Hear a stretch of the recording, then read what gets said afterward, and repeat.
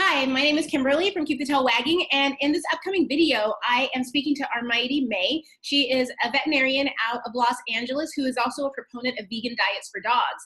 And the reason why I sat down with her was because of a current plan or proposal to switch dogs in LA shelters to a vegan kibble. So um, this conversation is something that is passionate for a lot of people, or this idea. There are people who very passionately believe that dogs can survive and thrive off a vegan diet, and there are people who believe otherwise. I personally think dogs are facultative carnivores, which means that they thrive on a diet of muscle meat, um, organ meat, and bone. So, which is why I'm a raw feeder. But they can thrive off of um, a temporary diet of vegetation, depending upon what's available.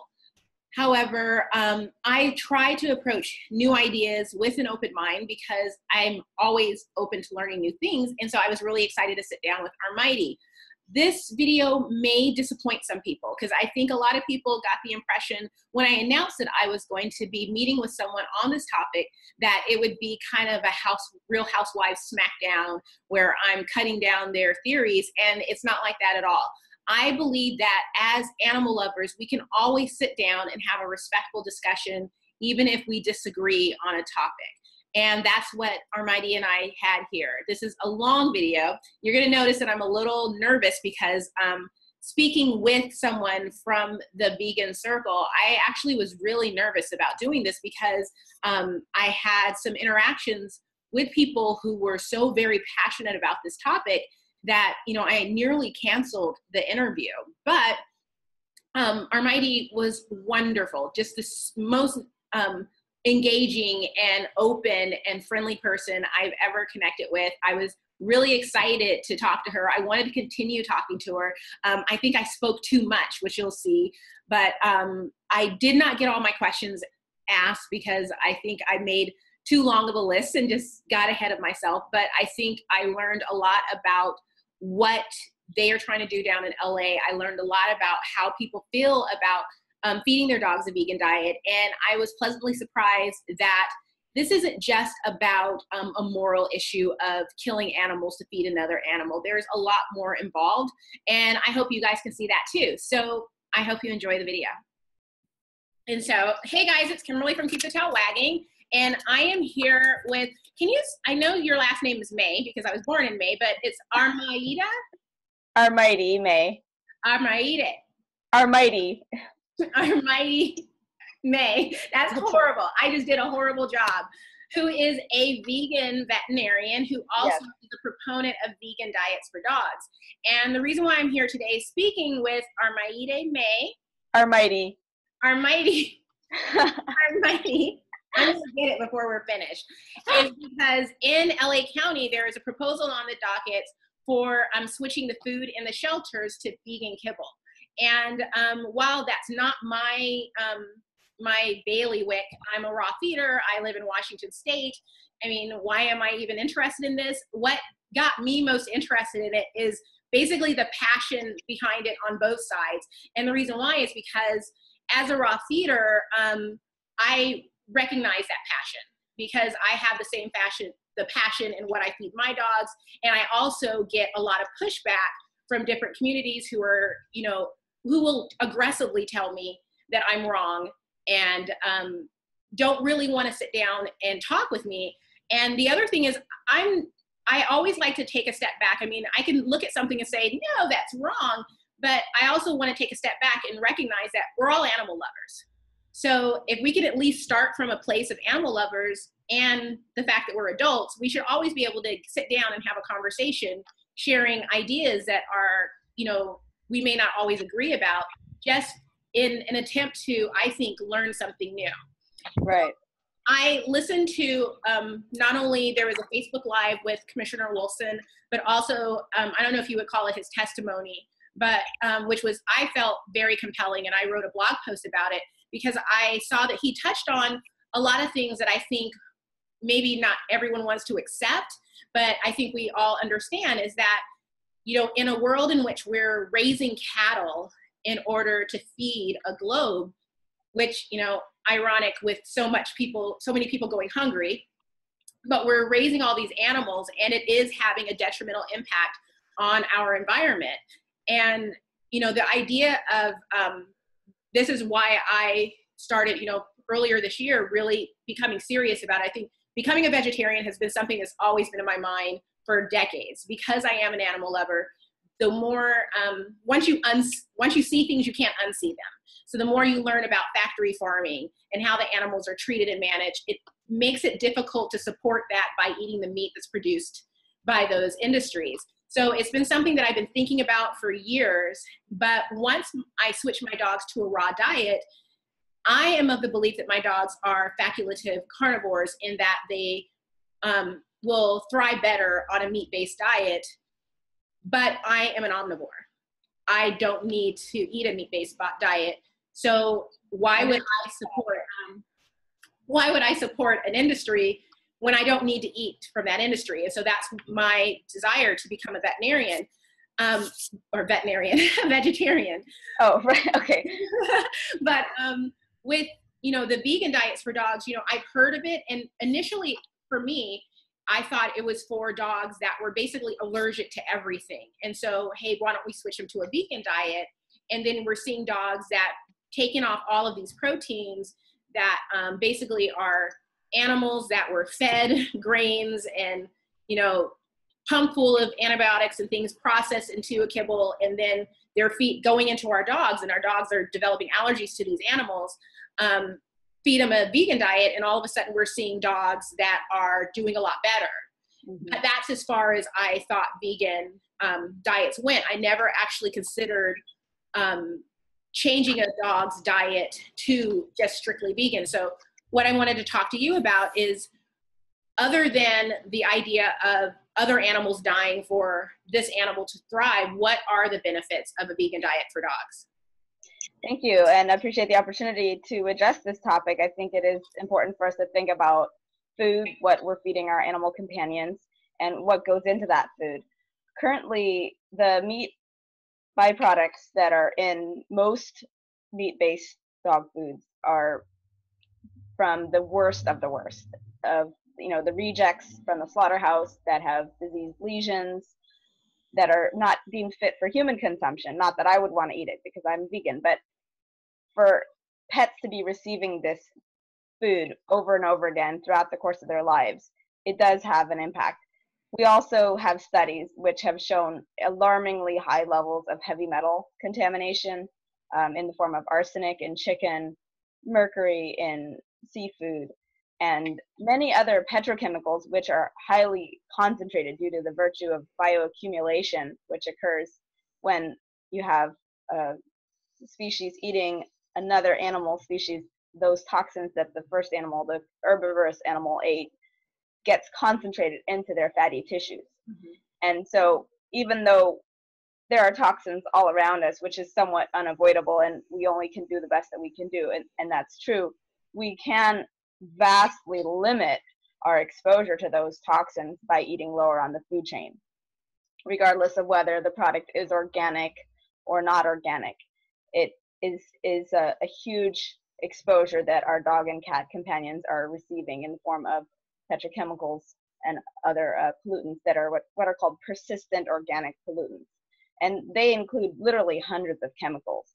So when I am a vet, I've been practicing in Los Angeles for close to 12 years now. I do house calls, but I, I've seen a lot of dogs dying from cancer.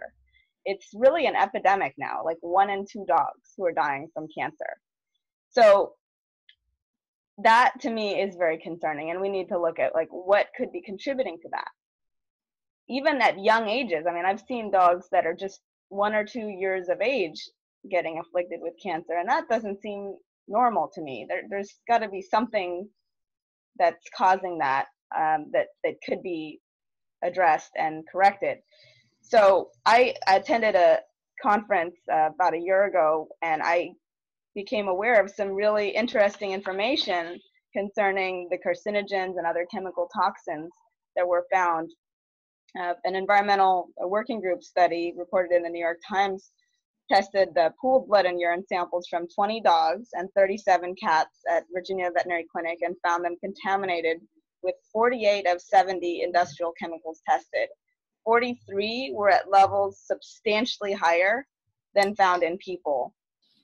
And those included plastics, food packaging chemicals, heavy metals, fire retardants, as well as stain proofing chemicals. And for the dogs who were tested, uh, they were contaminated with 35 chemicals altogether, including 11 carcinogens, 31 chemicals toxic to the reproductive system, and 24 neurotoxins. 20% of those chemicals averaged at least five times higher than what is found in people. So, uh, and, and you know, there are other studies too, and I can go on, but um, the point is that what we're feeding our animals is is really toxic and so if we can shift them to something that is pure, that's definitely the preferred option. And it's been shown that even though dogs have eaten meat in the past and do eat meat when they're given the opportunity, they can actually thrive on a well balanced plant based diet that meets their nutritional requirement. So, dogs, while they're omnivores, they, they can do very well on plant based foods because they have the enzymes for digesting carbohydrates, which wolves do not have as much of. Uh, and some of the studies have shown over the evolution of the 10,000 years that dogs became domesticated and lived with humans, they actually developed the ability to digest carbohydrates and have many, many more genes than wolves do for doing so. So, um, and then in my travels over the past several years and doing volunteer work in various third world countries, I've seen dogs that are existing. I mean, they may not be in the perfect health because they don't get enough food mm-hmm. in many cases. Stray dogs, you know, sadly, uh, unlike a lot of dogs in the United States who get too much food and are obese. So, you know, there are both types of issues that go on. But dogs are adaptable. I mean, they they can survive on all kinds of different diets uh, there, there are dogs in India who don't eat any meat at all because there are entire cities that don't even have meat allowed. Like there are vegetarian cities in India, such as Rishikesh, where meat is banned. And there are dogs. I, I visited Rishikesh myself, and I saw them running around. So um, this idea that dogs must have meat to survive or to do well is just it's just not the reality. I've also seen in clinical practice, you know, here in the U.S., treating dogs that there there are a lot of skin allergies that we see in clinical practice in the form of licking, biting, chewing, hot spots, all that stuff. And there could be multiple factors, certainly environmental uh, contact allergies, food sensitivities are a part of that, and flea allergies. So I've, I've seen improvements in dogs who switch to a plant-based diet in their skin allergies. And interestingly, uh, one of the actual official prescription veterinary diets for allergic dogs is a vegetarian formula. It's made by a company called Purina, which you've probably heard of. And uh, Purina HA is the name of the diet. It's a hypoallergenic diet, and it's it's all plant ingredients. So, and that's that's well known amongst veterinary nutritionists that that diet exists, and it is what's called a prescription diet. So, if that diet is deemed suitable, and there are many other that are AAFCO approved, meaning they have the stamp of approval from the American Association of Feed Control Officials in terms of meeting the requirements that dogs have, then you know let's do it. And it, there are many benefits for the environment. I mean, what's happening? We're seeing so many natural disasters, these fires and floods that happened just a few months ago and hurricanes, those are largely contributed to by climate change, which the livestock industry is a big contributor towards. The, the livestock um, greenhouse gas emissions, the methane, are actually uh, hugely significant, more so than all of transportation combined. And we're, we're, we're really in a crisis right now with the depletion of natural resources, the, the water use, the land use, the, the depletion of uh, rainforests that are a reservoir for amazing uh, soils that provide nutrition for all kinds of species, animal, plant species that are being decimated to make room for cattle grazing and to grow crops to feed cattle. So it's uh, it's very environmentally destructive to feed a diet that isn't necessary to be fed when there is a kinder and more environmentally friendly and frankly healthier option available in the form of a nutritionally complete plant-based option.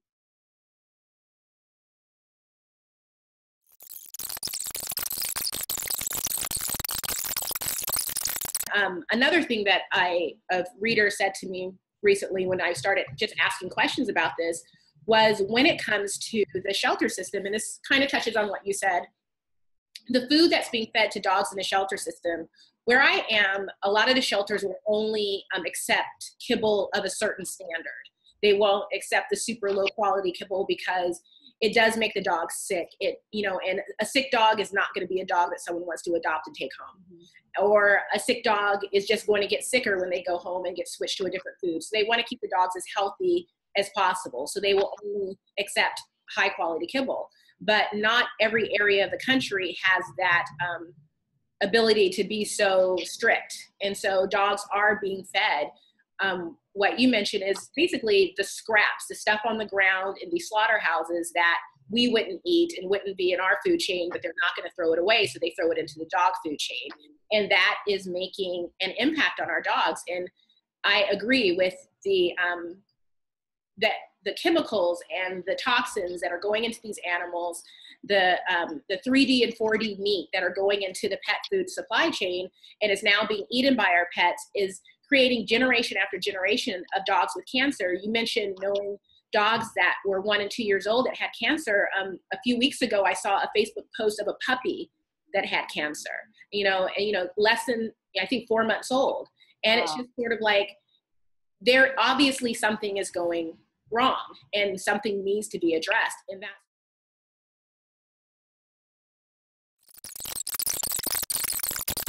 them the kibble and it's not always going to be the highest quality kibble. And so we are adopting out sick dogs or we're housing sick dogs and one person one of my readers said to me isn't a high quality vegan food superior than the lowest quality kibble wouldn't it be better and that blew my mind because I didn't think of it that way. All I all I couldn't get I couldn't get out of the box of dogs are carnivores. This is wrong.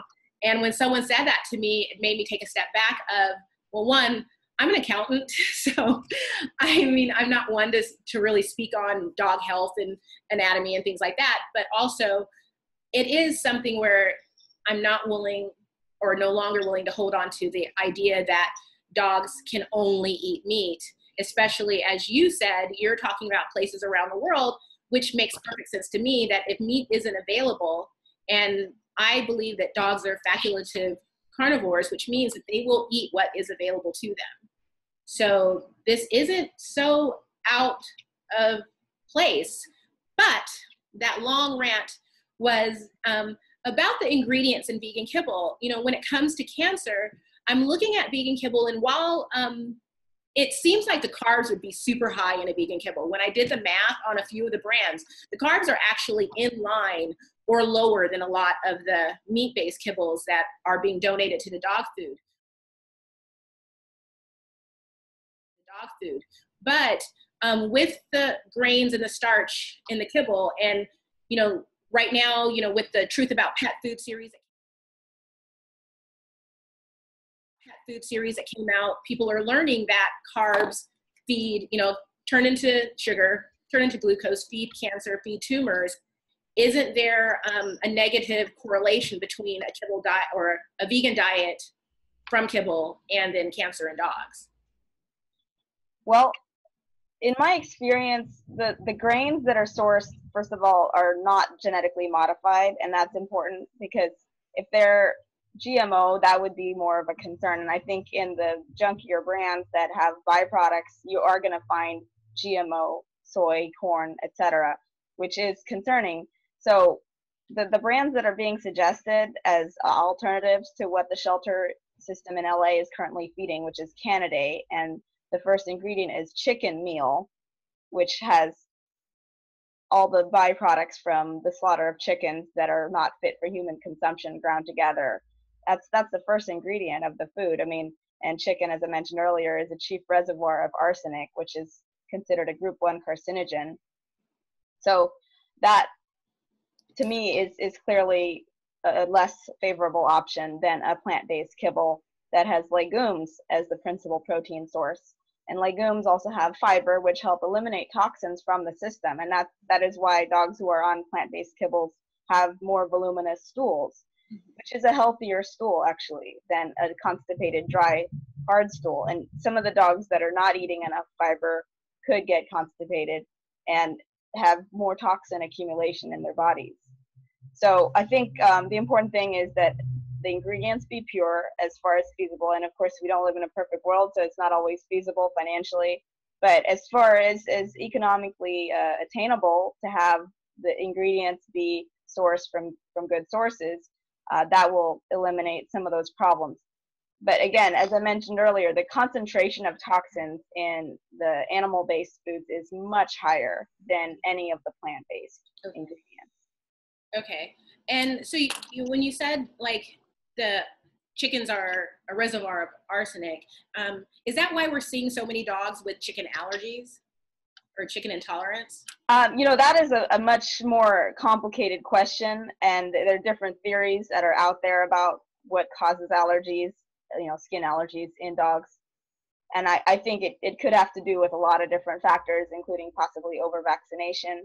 But um, that's that's more of a conjecture than a you know I, that's not really pertinent to you know what we're going to do about the problem other than i mean there are some people out there that are trying to do some natural allergy elimination technique i, I haven't had personal experience with that in my practice but um, i mean the fact is that chicken and beef and, and other animal proteins are very highly allergenic for a lot of dogs mm-hmm. and that's why the purina ha which is a hypoallergenic vegetarian formula has been prescribed as a prescription diet for so many dogs. So when I see dogs who have skin allergies, I say, hey, save yourself some money. Instead of supporting this big uh, conglomerate, why not choose a, a, vegetarian diet that you can get over the counter without a prescription and you're going to save yourself some money? Or if you want to cook for your dog, that's even better. And a lot of people do cook at oh. home. And that would be the, the way to make it the purest possible ingredients. Right. But then they do want to be mindful of the balance and you know consult with a, a veterinarian or a veterinary nutritionist and get guidance about the right proportions and make sure they're supplementing appropriately. And when you said about the the stool being bigger, one thing that I notice is that you know my dog's stool is not super small, but it's smaller. Um, I have four dogs, my two adult dogs, and when they were on a kibble diet, and um, I always thought that it was because they weren't absorbing all of the nutrients in the diet. So everything was just basically being flushed out in the stool. So I guess what's the difference? I don't see where there would be a really big difference between um, dogs eating a, a poor quality meat based kibble diet and that size of the stool than the um, a, a vegan kibble diet. Well, fiber, soluble and insoluble fiber, are both really helpful to eliminate any toxins and buildup that that resides in the colon and other, you know, just even through the bile duct. I mean, it just processes out a lot of chemicals, and those get excreted out of the system.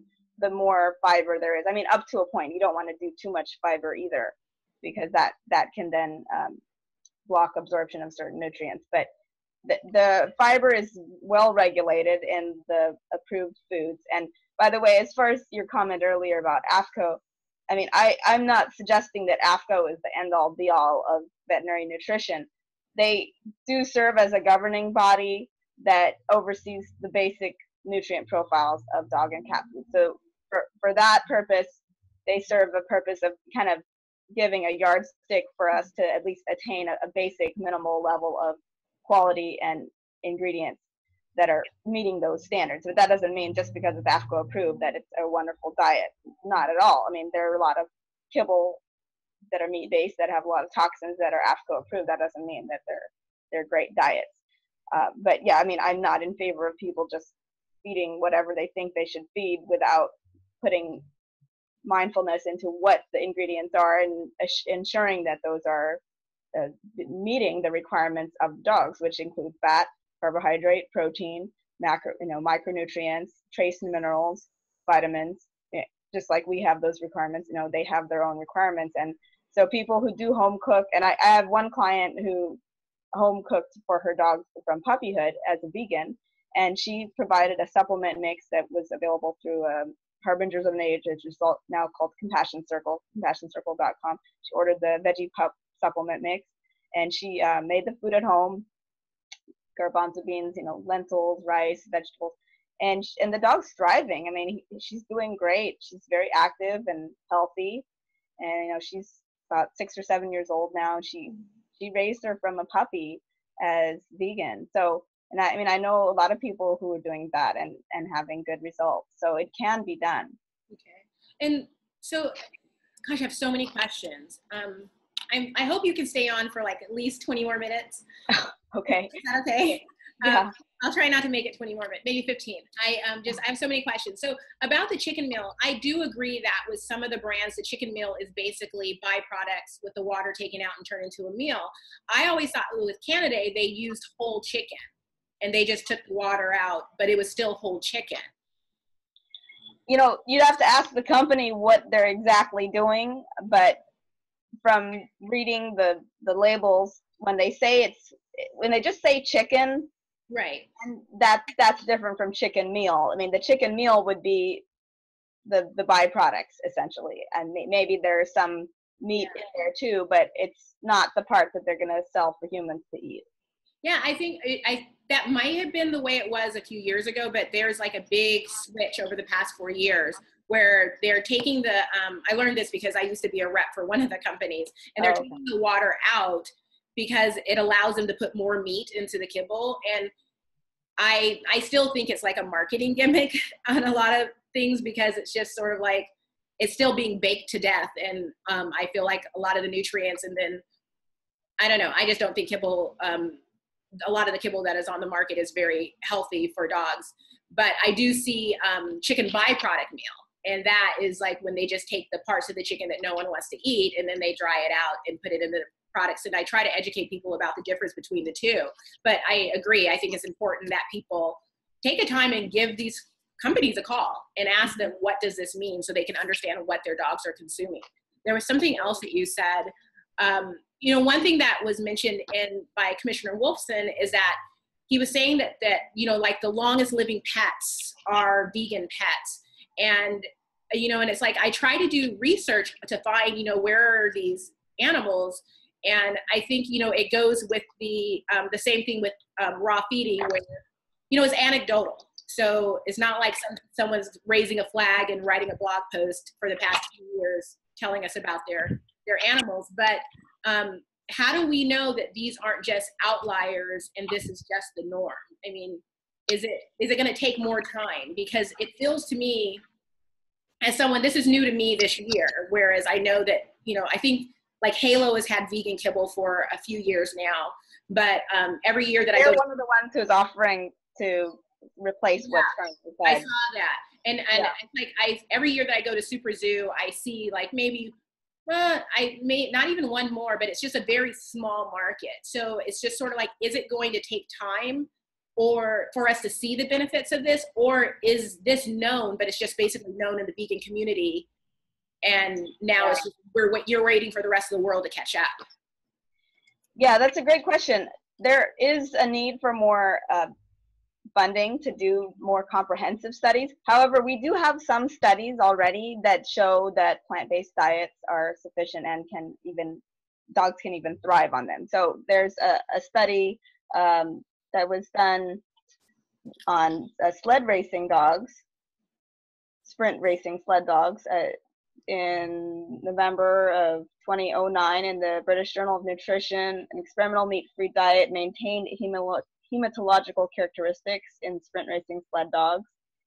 So um, then, you know, there there are other uh, studies which show that they are able to digest plant foods, including grains and starches. So you know, it would be great if we had more funding available. Part of the issue is that you know the the funding that is available is usually through the companies that provide the meat based right. food and so they they're not incentivized to fund you know the studies that we would like to see funded but you know i think there there certainly is hope in the future for that to happen but like a lot of things i've noticed there isn't always uh, funding where we would like it to be when the powers at play are not uh, to be benefited by the results of those studies. So right. yeah, I think you have to look at the big picture too. And I mean, like who's studying the cancer epidemic, for mm-hmm. example? That that seems to be falling on deaf ears. So right. we have to kind of like make our own decisions and realize that you know that there are thousands of dogs that are thriving, if not mm-hmm. more, uh, on plant-based diets. So it can be done, it, you know. And some of the longest-lived dogs, like there there was a, a border collie who lived to be 27, living on lentils, rice, and vegetables and he made it into the um, Guinness Book of World Records. Bramble is his name. So there, you what know. was his name? Bramble. Bramble. Bramble. Cool. I have a border collie. okay, they're very um, smart. So yeah, too smart. so when it comes to um, you know when it comes to feeding the dogs, basically in the shelter system, um, a vegan diet, you know, one of the things that I wondered is when they leave the shelter system and go to their new home, are the new owners are are they going to be encouraged to continue that diet? Or you know are they going to be helped with transitioning? Is there do you foresee a problem with transitioning from a vegan diet to a meat-based diet? Or is it like any transition basically?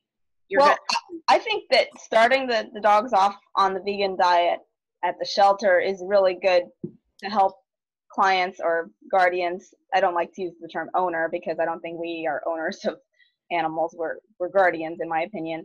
So, or we should be anyway. But um, anyway, the the new home uh, would be an environment for them to transition to whatever diet the guardian finds suitable. But ideally, it could be an educational moment for those guardians to consider um, continuing a plant-based diet. And if they didn't like feeding the kibble, uh, which is understandable, they could transition them to a home cooked diet or to a wet food, which I do recommend to clients if they can afford it. But we also have to keep in mind the big picture and being practical too, because not everyone can afford to do that or has the time to do it. So if it's a question of kill the dog or let them have a home where they're eating kibble, I mean, I think the choice is obvious that the kibble and staying alive is better than being killed. And so um, working with people, just educating them. I think there was talk of having a, a, starter kit for dogs to go home with some information and maybe some uh, samples of plant-based kibbles and other foods. They could try to see if they can adapt to it. And if you know if they're doing well on it in the shelter environment, there's no reason to suspect that they wouldn't do well at home, especially under the guidance of a veterinarian who's counseling them and you know checking their blood and seeing if there's any issue. And it's a good idea to have that done annually regardless of of what they're eating but uh, just to just to get a, a baseline and then notice if there are issues that crop up before things get out of hand later on. Right right. And um is this you know this change is this change basically strictly because of the fact of you know how animals are treated in the factory farming system or is this going to save the shelters money? Because i know that a lot of the kibbles that are making vegan kibbles are high quality expensive kibbles. And i know that um, they're going to match previous pricing but they're not giving the food away for free. So is this in any way going to save the shelters any money? Well, right now, the, the prices offered by the, the companies that have stepped forward to offer their vegan kibbles have uh, price competitive with what the shelter is currently paying, so it should be cost neutral. It may actually be a cost savings. Uh, it, they haven't done a full analysis yet, but you know, one could mention that the, the shelter dogs will probably be calmer on plant-based kibble. Uh, it's been observed in, in people who switch to a plant-based diet that some of the aggression that some people experience before uh, eliminating animal products can dissipate and they actually become uh, more calm uh, on a plant-based diet. So, and and that has even been shown in, in prison inmates that were fed, um, that were offered, you know, plant-based food, that their aggression uh, went down. So one of the issues that the people in the shelter deal with is all this anxiety. The dogs are barking, they're stressed out, they're just out of their minds. And having them on a diet that relaxes them a little bit will actually make everyone's life easier. Yeah. Has this been tested yet? Uh, to my knowledge, I don't know of a, a, big shelter system. I mean, Los Angeles is the second biggest shelter system in, in the United States. So uh, I, I don't know of any other city that has uh, conducted this type of change. But I mean, on on an individual level, it has shown success, and so I think you know it's an idea whose time has come, and mm-hmm. I'm, I'm excited about the, the positive effects that it will have for the dogs, and of course our planet and the animals who are killed to have to feed another animal. I mean, I think that is a tragedy that could be prevented by you know choosing a, a kinder option. And um, are you at, in the same time doing any type of work? I mean, I know this is related to the shelter system, but you know, I feel like um, humans are the biggest consumer of animal. So, what are you doing in in that realm to encourage more humans to at least consider, you know, cutting back or eliminating meat from their diet? Absolutely. I have an animal rights meetup group called United Animal Advocates of LA. Uh, we have vegan outreach leafleting on Third Street Promenade in Santa Monica. We show videos of, of what happens to animals in factory farms and slaughterhouses. We show portion of a film called Earthlings, directed by Shaun Monson and narrated by Joaquin Phoenix, which really has some graphic images and it startles people when they see it and sometimes they stop and you know they sometimes they'll start crying and we show them those videos and we pass out literature to them which has vegan recipes encourage them to try a plant-based diet uh, so we do that every couple weeks. Um, I'm also in a group called Vegan Toastmasters, which is a public speaking club that helps people who are new or aspiring vegans or even just curious about what veganism is all about. And you would be welcome to come. I know you live far away, but you know if you happen to visit LA sometime, you're welcome to join us. Uh, we meet the first and third Sunday of the month uh, from 3 to 4:30 in Culver City at Grace Lutheran Church over on Overland Avenue. And it's it's a great uh, meeting that like-minded people can come together, share ideas, practice their speaking skills, uh, share some lovely vegan food. I also have a nonprofit group called VAPA, which is Veterinary Association for the Protection of Animals. We're trying to educate the veterinary community about the benefits of a vegan diet for people to be vegan. That's what our focus is on. I also hope to get veterinary schools to have more humane surgical teaching methods in their curriculum. When I was in vet school at UC Davis, I helped organize a surgery training wet lab using ethical source cadavers as a humane alternative to what were then terminal surgeries in which dogs would come from the shelter and subjected to surgeries that weren't necessary and then killed at the end of them. And instead, what's happened now is they have a rotation during senior year in which students perform surgeries under faculty supervision on animals who actually need and benefit from those surgeries at a reduced cost to the client. So it's a win-win all around, and that's really how it should be. Also encouraging vet students to go out into the field, volunteer their time, do spaying and neutering in impoverished communities, travel abroad, help out these different communities that do not have access to veterinary care and actually gain a lot of surgical and veterinary clinical experience in the process. Okay, that is it. All right. So much. I, I can't even believe how much I appreciate you taking the time um, to talk to me. Oh, one more final question. I'm sorry. You know, so vegan. So what about leashes and collars and things like that? Those are now fabric based and mm-hmm. and yeah, there there are plenty of uh, non-animal uh, leashes and muzzles, and I mean, I mean, I have a whole array of equipment, but also it's important to understand that veganism to me is not about perfection mm-hmm. or dogma. It's it's about a philosophy of non-injury to other living beings, about ahimsa, which is reducing suffering and minimizing our impact. Now, I don't pretend to think that as a vegan that I don't have an impact on the environment. Of course I do. But I am here on this planet and I intend to make my time here the best possible I can to to have as uh, least a negative impact and as, as much of a positive impact that I can. So for me, veganism is a tool to reduce suffering, and it, it, it also is beneficial for the environment and our health. I mean, as, as a species uh, globally, uh, I think human beings are having a tremendous impact, but that could be curtailed significantly if we were to switch to a plant-based diet. And, and for those who don't want to go vegan, well, they could at least cut back on their intake of animal products, and that will help And there's so many wonderful options available of plant-based milks, you know, coconut milk, almond milk, hemp milk, soy milk, and it's available in, in stores easily.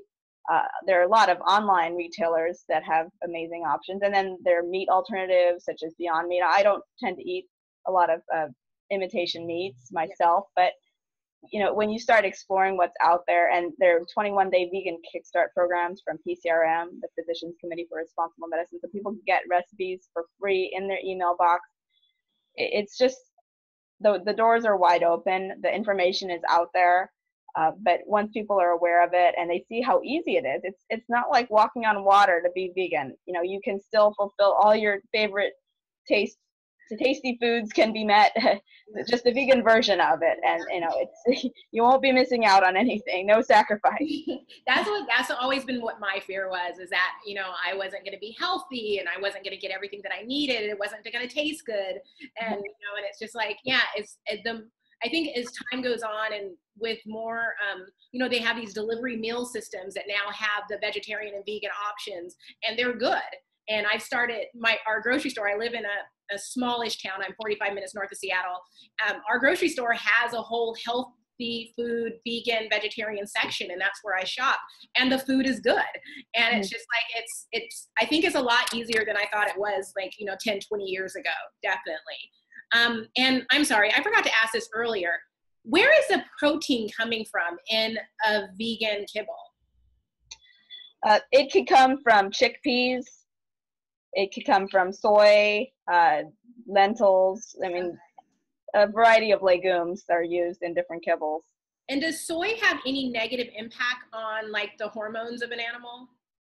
No, not to my knowledge. The the soy is it, ha- it has a different hormone uh, profile compared to animal flesh. So animal by the way, meat has hormones naturally occurring in it, even though a lot of times you'll see marketing that says no hormones, but they really mean is no added hormones because there is there are hormones present in the meat food because it's naturally present. Mm-hmm. So that would actually have a greater impact on health than the plant-based hormones. Okay. I'm done with you. Thank, well, thank you so much. You're um, welcome. Gave some very compelling reasons as to why her choice to feed or you know to encourage people to feed a vegan diet to their dogs, why that works.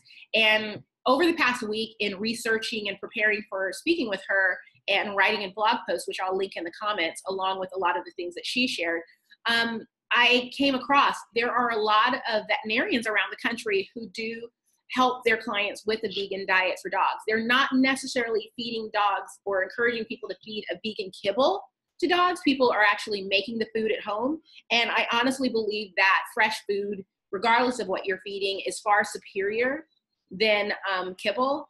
But after speaking with Armaiti, although I have a better understanding of what she's trying to do and where she's coming from, and I'm not so willing to slam the door on a vegan diet because I think for dogs out there who um, cannot eat meat, who are having trouble with all the different um, meat based proteins out there, proteins out there. A vegan diet may be an alternative, you know, an expensive alternative, but it is an alternative for that dog.